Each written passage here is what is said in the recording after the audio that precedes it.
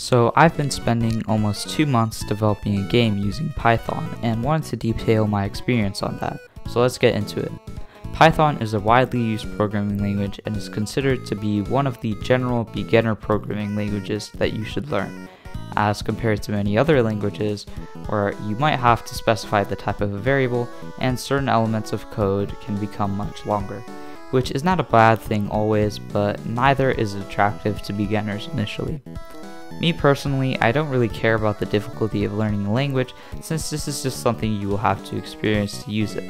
But this was actually my first time really using Python, although it could be argued that GDScript, a scripting language for the game engine Godot, is similar to Python, and that may have helped me. But anyways, how exactly does one make a game in Python? Well, the most popular way to develop games in Python is to use the Python library Pygame, which is built on top of SDL, a popular and monumental free and open source software development library that has been widely used in game development. SDL manages audio, input devices, threads, shared object loading, networking, and timers, and for 3D graphics can handle OpenGL, Vulkan, Metal, and Direct3D 11 and also 9.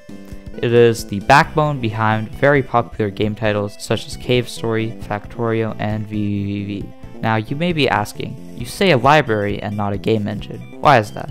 That's because back then, the engine part of development was also done by you, the developer, and often for the best performance required the use of languages like C and C++. And while today it is probably the best practice to make your own game engine, use a low-level language, optimize and understand everything as much as you can, why would a newcomer ever take these options down rather than going the easy way out that 9 out of 10 game developers would recommend, which is a game engine? I can personally attest to this, as I probably knew way more about game engines than I ever did about frameworks when starting out game development. So if that's the case, what is the best way to learn about the intricacies of game development without being lulled and eased into simple solutions for complex systems, as most game engines do? I think that solution is Pygame CE, as it is the best way to learn these complex systems in the comfort of the Python language. But you just said Pygame earlier, not Pygame CE. Well, the reason for its existence is why open source software is such a great thing. The TLDR of it is that the original Pygame project had poor and unprofessional maintenance, and the main contributors decided to fork Pygame into Pygame Community Edition, which is the current main Pygame distribution from what I can gather. Pygame still gets updated to this day surprisingly, but it's a redundant cause considering those main contributors created and migrated to Pygame CE. If you're interested about it more specifically, I would recommend watching the Fluffy Potato's video about Pygame CE, which will be linked in the description and a card that will now appear on screen. Okay, now let's get into the actual game development. For this project, I decided to make a game themed around the idea of the name Python, so I took the idea of pi from pi and phi from fight. Even though there's not much combat and it's not a very good name, I guess it just stuck. The idea is that you have to go through as many levels as it takes to reach zero in the decimals of pi and use math symbols to fight numbers.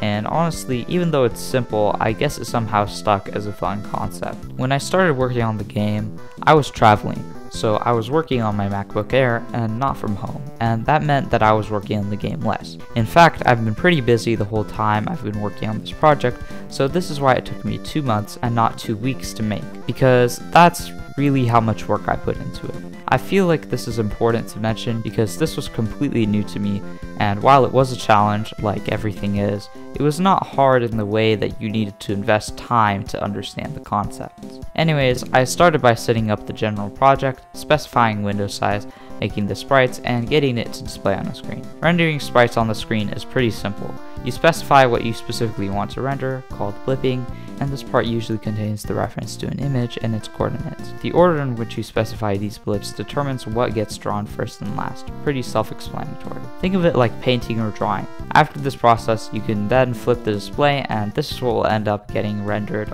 on our screen. Animation can also be done simply. Although I didn't really try to be specific and have a frame rate for animation, it was still simple to set up. Essentially in 2D, every animation can be an array of Pygame CE image references, and you can display each frame of the animation by iterating through each integer. Create a float that constantly increases and loops back to zero, interpret it as an integer for rendering the frame of animation, and that part is easily done. As for movement, this also ties into animation but essentially movement is an illusion. For example, if I were to translate an object from point A to B in one frame, and it was a large change, it wouldn't really appear as a smooth movement. But if I were to move it over in one second, and let's say it was moving at a constant rate every 60 frames, it would appear as if there is movement, and that is the illusion of smoothing movement. As for how I got the character to move around, the code to do that is pretty simple since I just set the player sprite to be rendered on a variable I made for player position. I actually ran into some issues trying to implement this since sometimes it would only register one input and sometimes it would interpret input as a press and not a hold. But I decided to use an array to determine what the player velocity would be, which would then get added to the player's position every frame. Now let's talk about enemies. I had to make a big choice and I chose the easy way out, but I wanted to talk about why it's not a wrong choice either. The fact is, the entire game is in one single Python script, for better or for worse. And instead of instantiation, which I assume would be done with classes and whatnot, all the enemies are stored into one big array. The advantage of this, especially because everything is inside one script, is that I have reference to everything. And so programming becomes a lot easier since I don't really have missing information per se but I know it would be a lot more nicer and optimal to do it the other way. In any case, I'm proud I managed to do it my way and figure out how to do it. I may actually use this method for future project made on frameworks because from what I can tell, you don't really get this ease of interaction with instantiation. To explain this system, basically the enemies are rendered based on the data stored in the array, and later on I managed to easily implement conditions for if the player was in range of an enemy, in which case it would take damage and vice versa. Weapons were also pretty self-explanatory as they used all the concepts I've discussed throughout the video so far. Text, music, sound effects, and pretty much the rest of the game was just pretty simple programming, and I managed to condense it all into one Python script that's under a thousand lines of code. Now that may sound funny, and I definitely could have optimized on some parts, but keep in mind that I'm not working with a game engine, I'm working with just a library, and all those functions that would usually be handled by a game engine had to be done by me. And ultimately, because of this, I think that Pygame CE is a perfect way to learn these concepts where the control of everything is in your hands. Traditional, now perhaps off-putting methods put into ease, but not as ease of usability, rather ease of the language that it's built for. And I think that this is something that anyone new to game development should try out. This single Python library has helped me break out of the fear of handling the lower level parts of game development and has given me much more confidence to work with frameworks. And now I don't feel as scared to try something like Monogame, which is something I've been interested in since I started researching it as a viable source for game development.